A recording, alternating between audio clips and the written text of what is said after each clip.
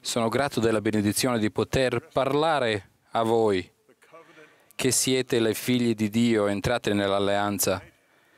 Il mio scopo stasera è quello di incoraggiarvi nello svolgimento del grande servizio al quale siete state chiamate. Sì, perché ogni figlia di Dio che sta ascoltando la mia voce ha ricevuto una chiamata dal Signore, Signore Gesù Cristo. La vostra chiamata ha avuto inizio quando siete state mandate su questa terra, in un luogo in un tempo scelti per voi da un Dio che vi conosce perfettamente e vi ama come sue figlie.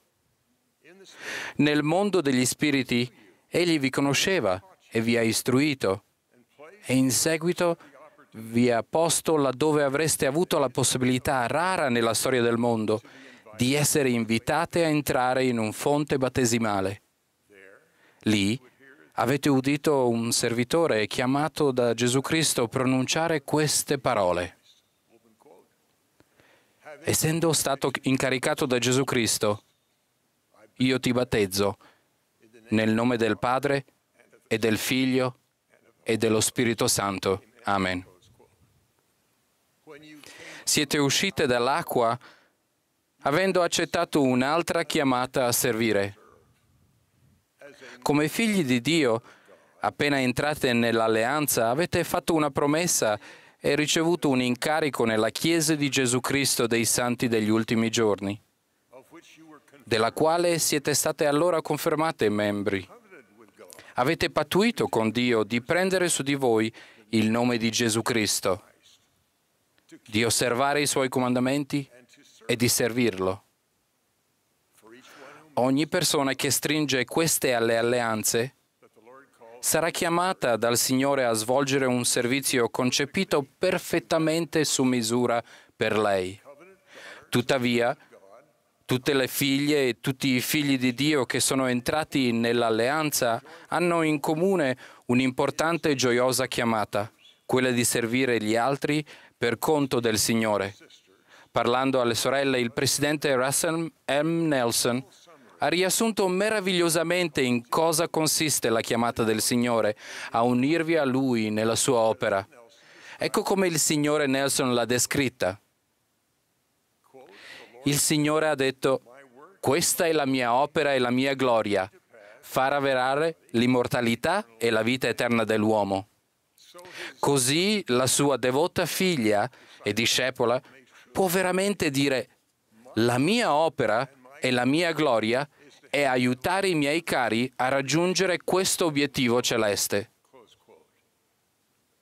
Aiutare un altro essere umano a realizzare il suo potenziale celeste fa parte della missione divina della donna. Come madre, insegnante o nutrice, ella plasma la creta vivente per darle la forma delle sue speranze. In società con Dio, la sua divina missione è quella di aiutare gli spiriti a vivere e le anime a innalzarsi. Questa è la misura della sua creazione.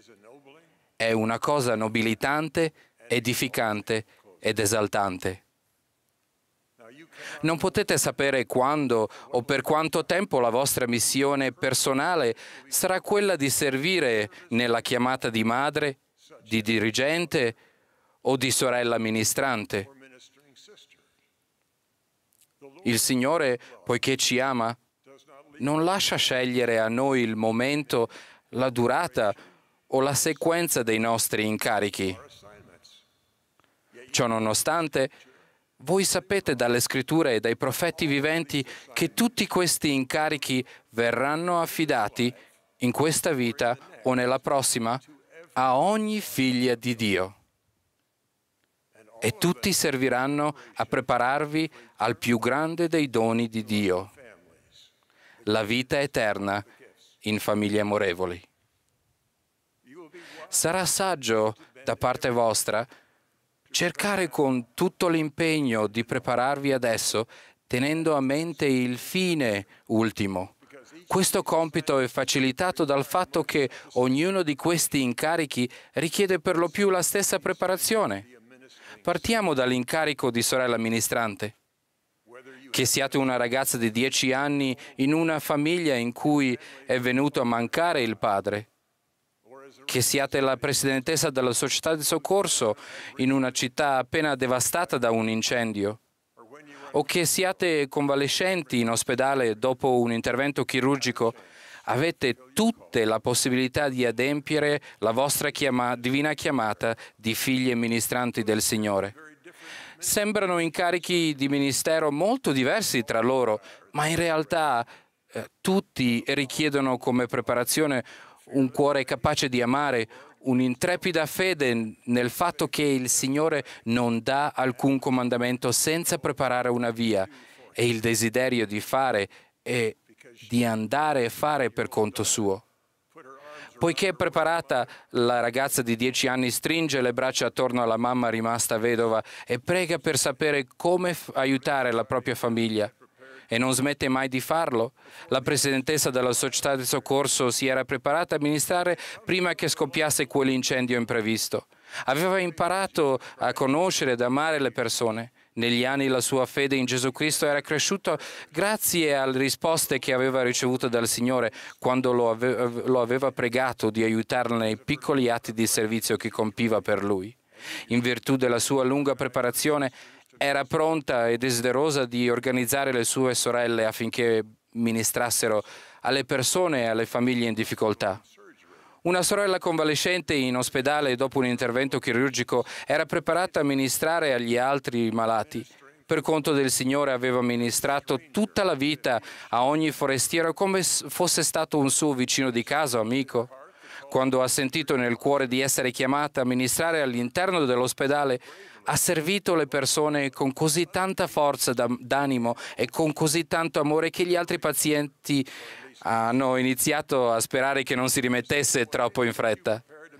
Nello stesso modo in cui vi preparate per il ministero, voi potete e dovete prepararvi per quando arriverà la vostra chiamata come dirigenti per il Signore. Guidare le persone e insegnare con coraggio la parola di Dio richiederà una fede in Gesù Cristo che affondi le radici in un grande amore per le scritture. Allora sarete preparate per avere lo Spirito Santo come vostro compagno costante. Sarete felici di rispondere, lo farò io, quando la vostra consigliera nelle giovani donne vi dirà col panico nella voce, la sorella Alvarez oggi è malata. Chi terrà la lezione alla sua classe? Parlando alle sorelle, stesso, la stessa preparazione arriverà quando il Signore vi chiamerà a essere delle madri. Una preparazione necessaria di avere la fede in Gesù Cristo, di quanto ce ne sia mai stata nel vostro cuore.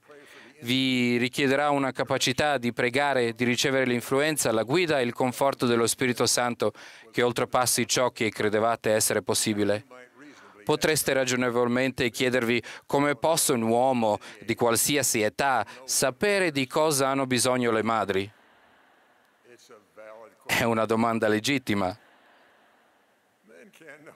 Come uomini non possiamo sapere tutto, ma possiamo imparare alcune lezioni mediante le rivelazioni di Dio, di Dio e possiamo imparare alcune dalle osservazioni.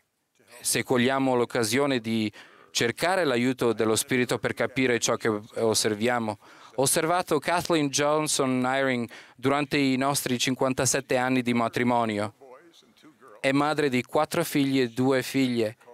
A tutt'oggi ella ha accettato la chiamata di esercitare la sua influenza materna su più di cento membri diretti della famiglia e su centinaia di altre persone che ha adottato nel suo cuore di, ma- di madre. Ricordate la perfetta descrizione fatta dal presidente Nelson della missione divina di una donna che comprende quella di madre.